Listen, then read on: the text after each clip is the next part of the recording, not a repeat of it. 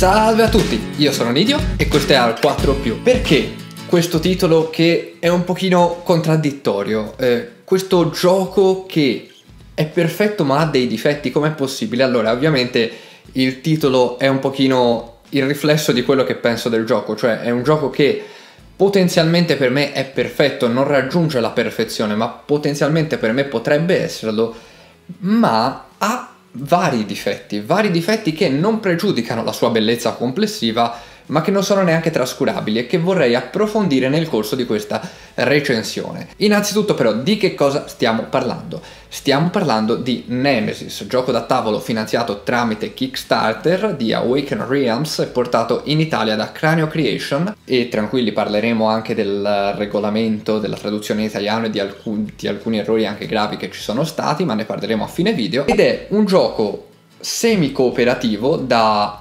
uno, ma diciamo la, la modalità principale è da 2 a 5 giocatori, che ci mette nei panni di un equipaggio all'interno di una nave, la, Nostrom- la, la Nemesis, che ha subito un'invasione da parte di una specie aliena. Noi ci risvegliamo all'interno delle nostre, eravamo in delle capsule di ibernazione, quindi ci siamo sve- svegliati e troviamo uno dei nostri compagni morto noi dovremo riuscire durante l'arco della partita a sopravvivere all'interno di questa nave infestata appunto da numerosi alieni e far tornare l'astronave verso la Terra. Non sarà un compito semplice, ma soprattutto, come mai dicevo, è semi-cooperativo. Beh, perché ogni personaggio avrà un suo obiettivo speciale che gli altri non conoscono.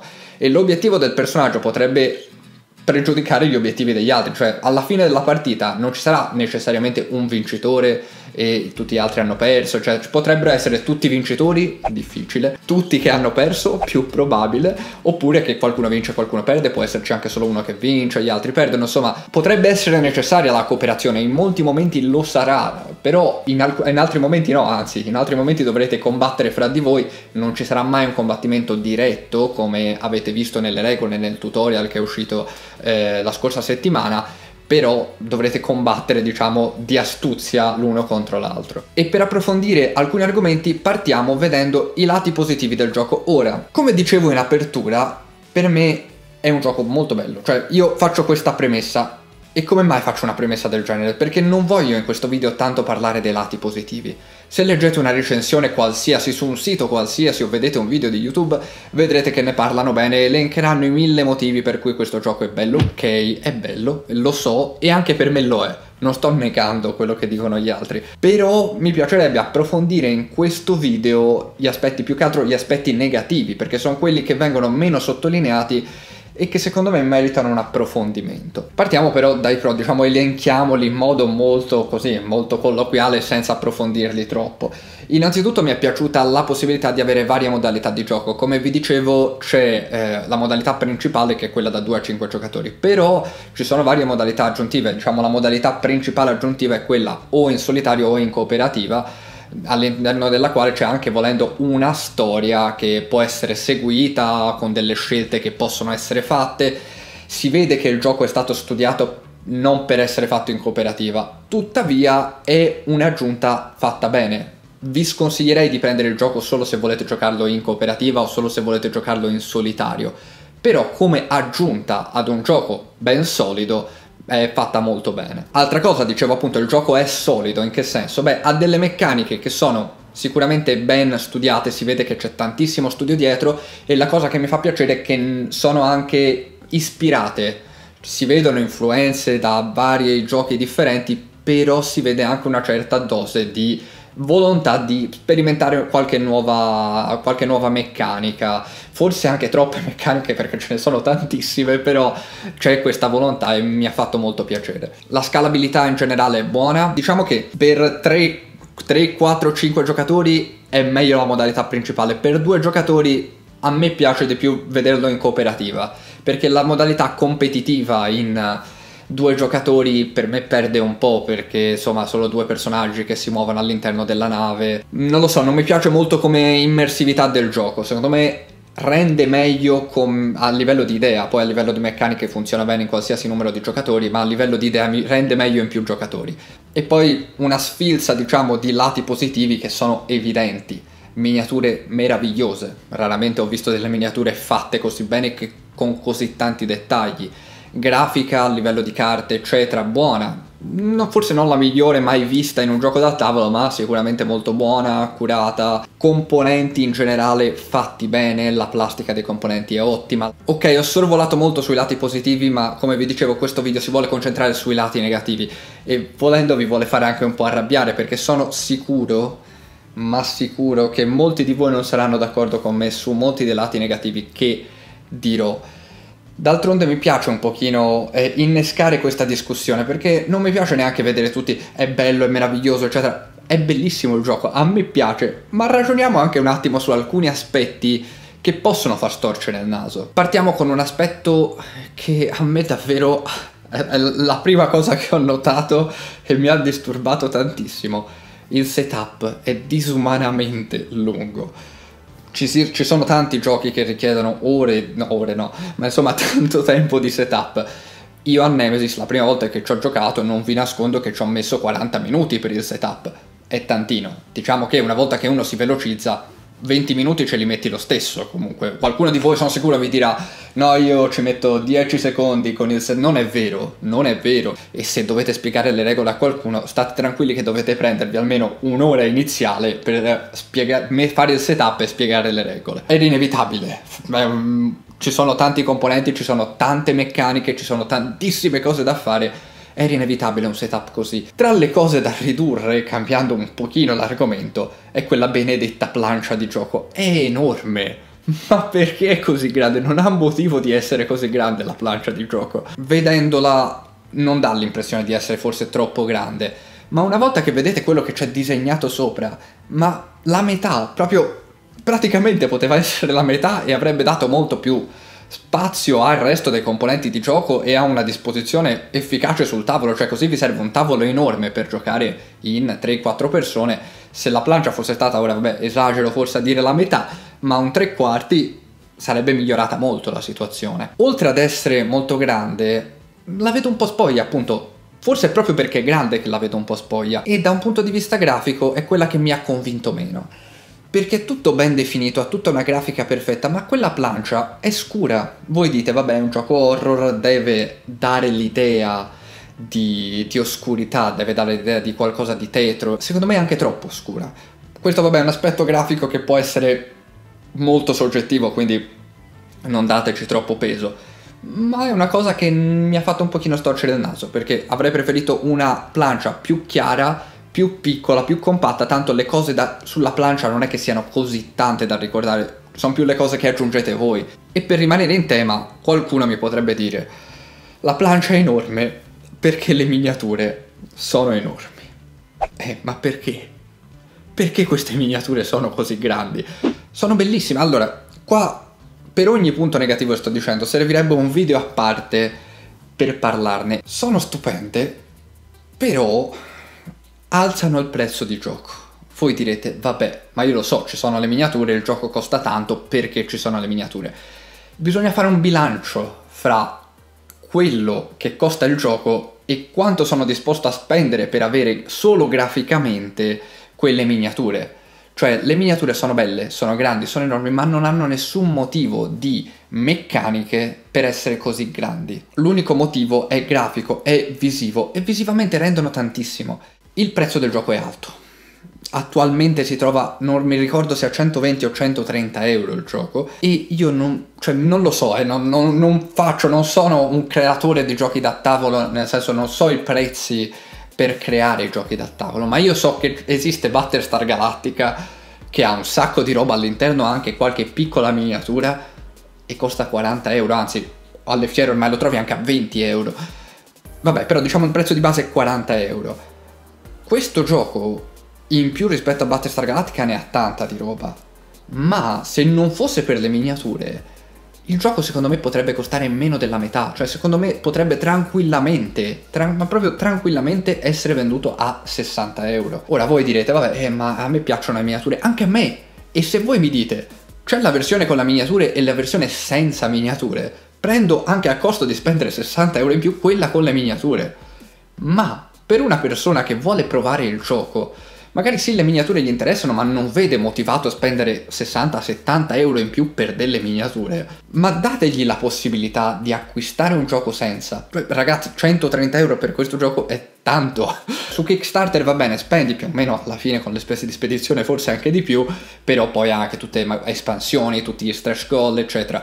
Per il gioco base però 130 euro, a questo punto sono motivati? Sì, più o meno, però... Eh, non sarei disposto a spendere così tanto. Quindi quello di cui mi lamento è l'assenza di una versione senza miniature o con le miniature piccole a grandezza dei personaggi, mm, con tutto ridimensionato per poter fare una versione tra tantissime virgolette pocket, perché non potrà mai essere pocket Nemesis, però diciamo una versione un pochino ridotta del gioco. Una piccola nota che riguarda la, la grafica, io ho detto è tutto bello, è tutto fantastico, è vero.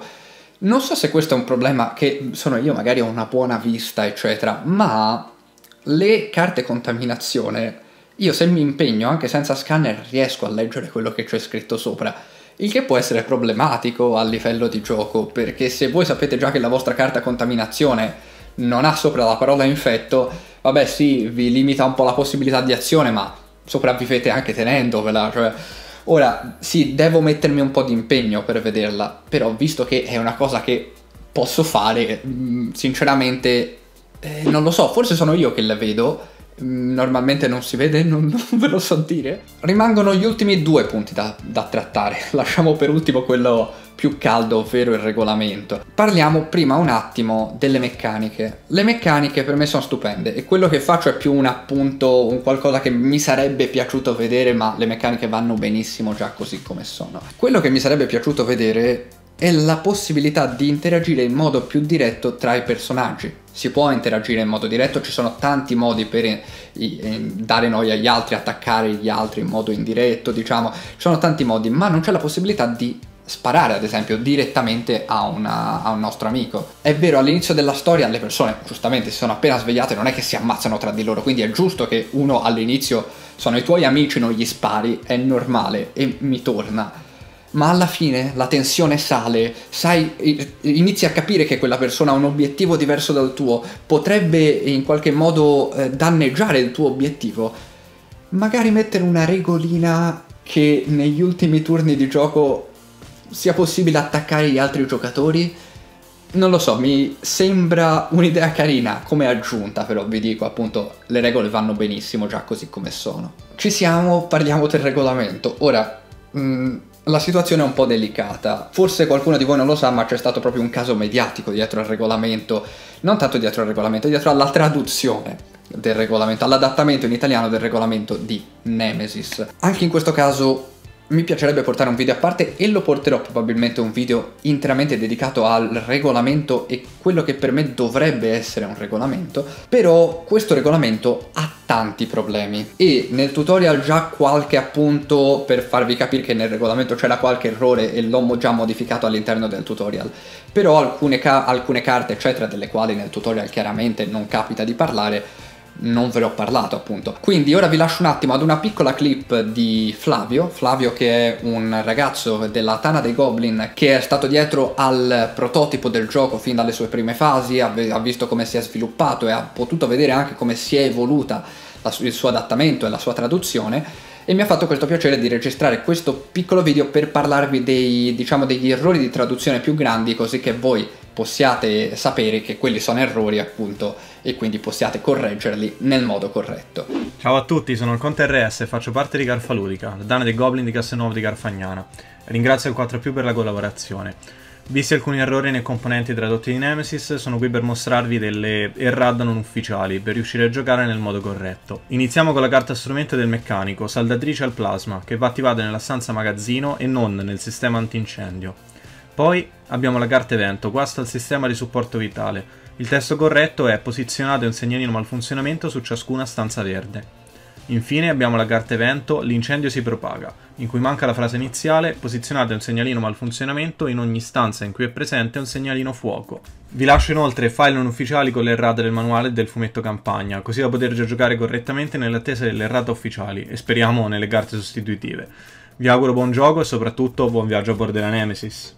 Ringrazio ancora Flavio per eh, l'intervento, mm, hanno fatto lui e mi ha detto sono 5-6 gruppi che si sono riuniti per trovare tutti gli errori, correggerli, hanno fatto un lavoro fantastico e in descrizione ringraziate sempre Flavio, eh, in descrizione trovate il link con l'errata corrige con tutti, tutti gli errori mo- tradotti diciamo e corretti in modo non ufficiale. Ora che abbiamo visto che gli errori ci sono, vorrei fare un piccolo appunto. Gli errori sono tanti, sono gravi, ci sono errori di italiano anche abbastanza importanti, congiuntivi sbagliati, ehm, soggetti completamente, beh, non si capisce qual è il soggetto, eccetera. Però a me non è che mi abbia toccato più di tanto, cioè eh, sì, mi è stata detta questa cosa, ho visto proprio c'è stato questo caso mediatico e mi è stata presentata come una situazione critica.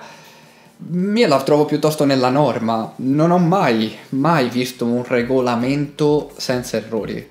Mm, sì, ma cioè quelli piccoli, magari no, Sturgeon no, tranquilli, è un regolamento grosso così ed è pieno di errori anche quello.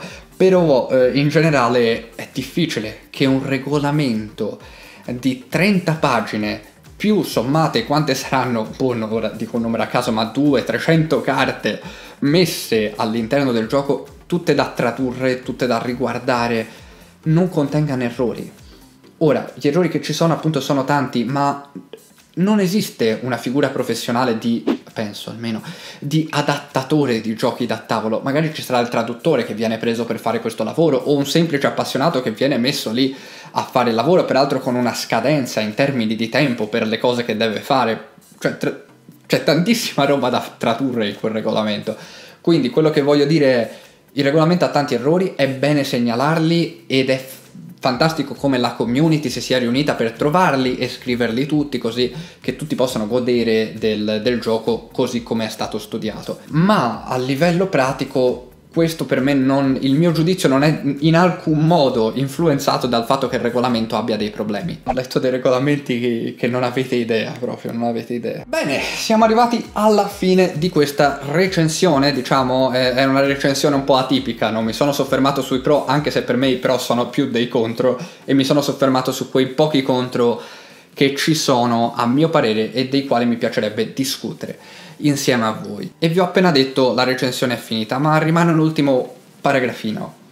Ve lo consiglio il gioco? Ni. Lo so, non è la risposta che vi sareste aspettati, vi ho detto finora è bellissimo, è fantastico, è stupendo. Ma è 130 euro. 130 euro no ragazzi. Cioè, è un gioco bello, ma secondo me non vale 130 euro. Il mio consiglio è, cioè capisco il perché va ci siano 130 quelle miniature cavolo costeranno. Però eh, sinceramente secondo me è un gioco da comprare nel momento in cui lo vedete scendere sotto i 100 euro. Questo è il mio giudizio personale per me 130 euro è un po' troppo, eh, siamo un pochino troppo in alto. Ora siamo davvero arrivati alla fine del video, lo so vi ho fatto arrabbiare, lo so sono stato un po' crudele in questo gioco con un gioco che non se lo meritava, però mi piace ogni tanto anche fare un pochino di discussione così fuori dagli schemi. Fatemi sapere in, nei commenti cosa ne pensate, avete provato il gioco, avete visto il, come funziona il gioco, io ringrazio ancora Flavio e tutta la sana dei Goblin per il lavoro che hanno fatto, iscrivetevi al canale, mettete mi piace, condividete il video, commentate, fate tutto, io non so più che cosa sto dicendo. Quindi noi ci vediamo al prossimo video, ciao a tutti!